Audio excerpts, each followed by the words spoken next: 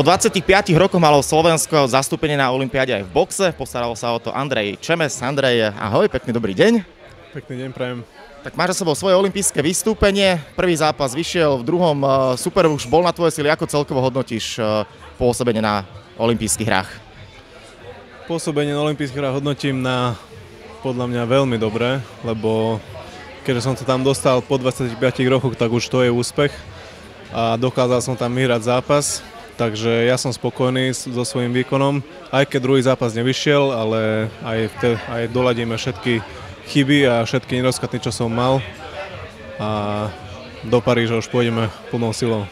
Ako si si celkovo vychutnával tú atmosféru, bola to zvláštna olimpiáda, fanúšikovia nemohli chodiť v takom eh, množstve, ako sme zvyknutí, ako si aj toto vnímal?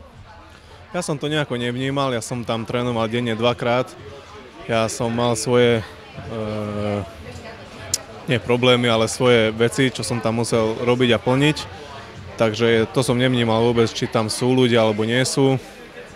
Vnímal som, že je tam strašne veľa športovcov, veľa olimpionikov, veľa majstrov sveta, Európy, takže ja som sa tam cítil dobre a bolo to super. Aké bolo celkové život a pôsobenie v olympijskej dedine? Mohli sme vidieť aj tvoj tréner Tomi Kováč dával videa, keď ste sa boli prebehnúť a podobne. Žilo to tam a užívali ste si asi tú atmosféru? Áno, užívali sme si to. A Neviem, čo k tomu dodať. Je to Olympiáda. Neviem. Jasne, tak Olympiáda bude najbližšie aj o 3 roky. V Paríži už si to naznačil, že ten cieľ je asi jasný. Toto bolo, môžeme to tak povedať, také raňajky pred krm, ale hlavný chod by mohol prísť o tie 3 roky.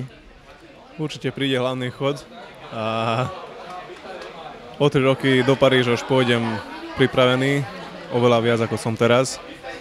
Ako som teraz bol, teraz mám týždeň pauzu, a začíname makať na majstrovstvá sveta a potom do Paríža.